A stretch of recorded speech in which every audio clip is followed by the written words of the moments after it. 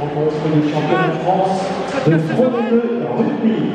Bienvenue aux arbitres et aux équipes du stade Auquerquois et de la rugby.